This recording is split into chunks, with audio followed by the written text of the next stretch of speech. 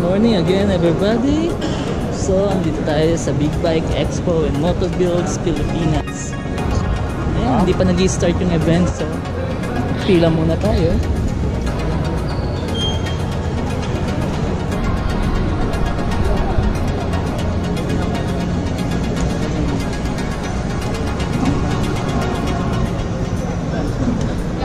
Okay guys, here